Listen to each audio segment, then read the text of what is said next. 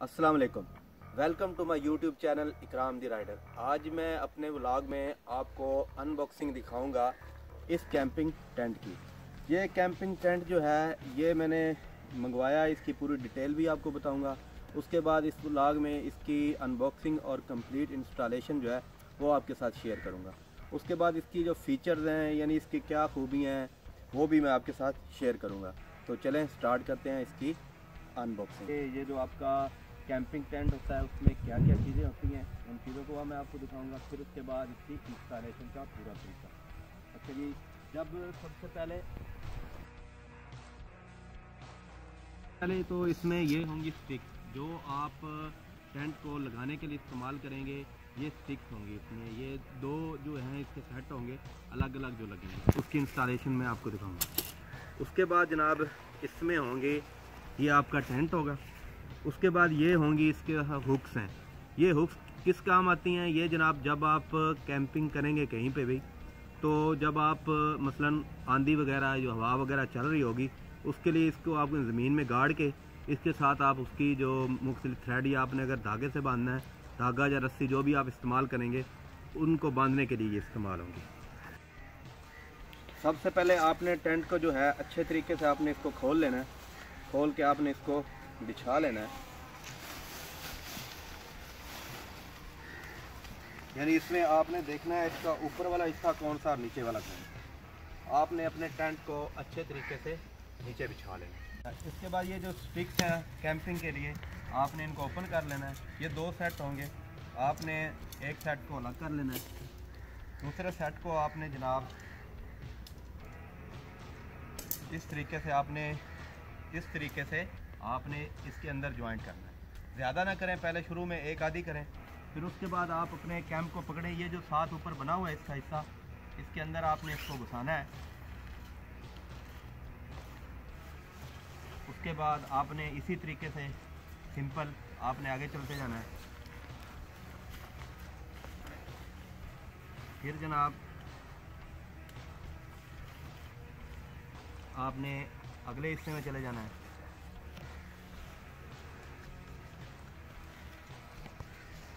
फिर एंड वाला जो हिस्सा है आपने जनाब उसमें इसको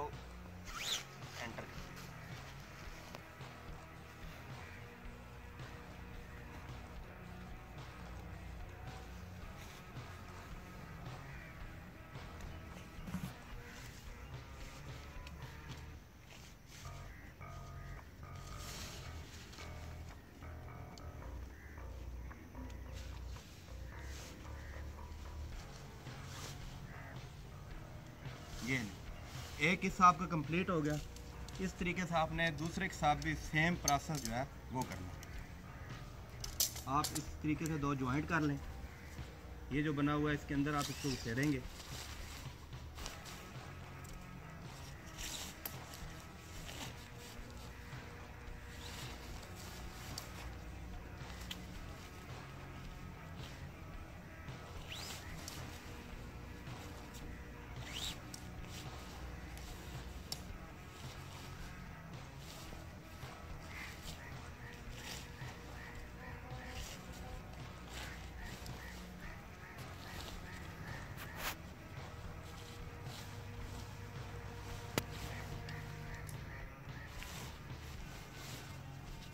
ये नहीं आपकी दोनों साइडें कंप्लीट होंगी। जब ये दोनों स्टिक्स जो हैं, आप अच्छे तरीके से इंस्टॉल कर लें, उसके बाद ये हुक्स हैं। आपने ये दोनों हुक्स यूज़ कर सकते हैं, लेकिन ये जो है, इस हुक में आपने इसको अच्छे तरीके से, एक स्टिक को इस तरीके से अंदर ज्वाइंट कर लेना है। आप जब इसको एक एक साइड से कर लें तो आपने जनाब दूसरी साइड पे आ जाना है। दूसरी साइड पे आके जनाब आपने इसको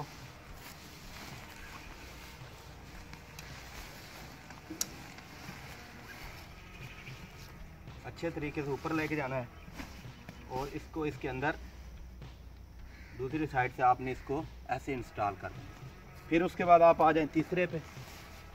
आपने इसको यहाँ पे इस तरीके से लगा देना उसके बाद आपका आखिरी रह गया और आपका टेंट जो है वो कंप्लीट हो जाएगा। उसके बाद आप इस साइड पे आएँ, कैंप को थोड़ा सा ऊपर खड़ा करें।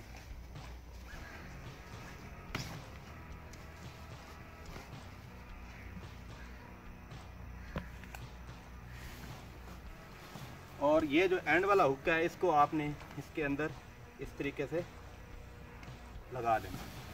तो ये आपका टेंट हो गया कंप्लीट ये आपका टेंट जो इंस्टॉलेशन है, वो होगी कंप्लीट अब जब आप इसके अंदर आएँगे तो इसमें दो लेयर ये इसके अंदर एक लेयर है मच्छरदानी वाली। इसके साथ ये जिप लगी हुई है, मगर मसलन अगर आप कहीं पे कैंपिंग कर रहे हैं और आपने पूरे माहौल को एंजॉय करना है और मच्छरों से भी बचना है तो आप इसको इंस्टॉल कर लेंगे। यानी इस तरीके से इसकी मैं कंप्लीट इंस्टॉलेशन आपको बताता हूँ। इस तरीके से ये आपकी इंस्टॉल हो जाएगी। यानी इस तरीके से आप पूरा व्यू भी इंजॉय करेंगे और उसके बाद आपको मच्छर मक्खियों से भी आप बच जाएँगे। उसके बाद अगर आपने रात को सोना है तो ये वाटर प्रूफ लेयर जो है, इसको आप इंस्टॉल कर लेंगे। उसके बाद आपको मैं कैंप की बैक साइड पे लेके जाता हूँ। अब हम कैंप की बैक साइड पे हैं तो यहाँ पे इंस्टॉल इन्होंने की हुई, ये लगा के यहाँ पे भी इन्होंने एक विंडो रखी हुई है। यानी इसको आप इस्तेमाल कर सकते हैं व्यू एंजॉय करने के लिए। इसको अगर आपने यूज़ नहीं करना तो आप इसको इस तरीके से यहाँ पे ये बनी हुई है, एक स्टिप आपने स्टिप के अंदर जस्ट इसको लगा के इसको आप बंद कर देंगे। बाद, आगे बात ये इन हुक्स की जो आपको टेंट के साथ ही मिलेंगी। इनको आप दो तरीके से लगा सकते हैं। एक तो अगर आपने लगाना चाह रहे हो तो आप इसको इस तरीके से यहाँ पे किसी जगह पे इंस्टॉल करें और थ्रेड को यहाँ से यहाँ बांधें। या इसके साथ जगह बनी हुई है, यहाँ पे आप इसको किसी चीज़ के साथ यहाँ पे फंसा देंगे तो ये आपका टेंट जो है आंधी या हवा में उड़ेगा नहीं। इसको यहाँ पे जो हुक बना हुआ है, इसके अंदर फंसा के आप इसको जनाब किसी चीज़ के साथ, हथौड़ी के साथ या किसी, अगर आप वहाँ पे आपके पास हथौड़ी नहीं है, को पत्थर यूज़ कर लें तो यहाँ पे इसको हुक को लगा देंगे, जिससे आपका टेंट अगर हवा वगैरह आती है तो हिलेगा नहीं। ये है हमारा कैंप तो कैंपिंग टेंट जो है तो इस टेंट में अच्छी खासी जगह है। दो, ये वैसे तो जो उन्होंने इसकी इंस्ट्रक्शन दी हुई हैं, उसमें तो ये लिखा है कि चार बंदों के लिए। लेकिन मेरे ख्याल में दो बंदे जो हैं, वो इजीली इसमें आप आराम कर सकते हैं। यानी बिल्कुल आप इजीली जो है, इसमें इस तरीके से सो सकते हैं और आप पूरा अपना कैंप जो है, रात को कहीं पे स्टे करते हैं तो उन चीज़ों को आप इंजॉय कर सकते हैं। तो ये जो मैंने आपको बताया है बैक साइड पे, इससे पूरा व्यू नज़र आएगा आपको। फ्रंट पे पूरा व्यू नज़र आएगा। ये, इस सेम जो टेंट है, इसके बगैर दो हज़ार रुपये का मुझे मिल रहा था, लेकिन इसका ये फ़ायदा है कि अगर आप पाँच सौ रुपया भरेंगे तो आप पूरा जो अपना आसपास का व्यू है, उसको इंजॉय कर सकेंगे।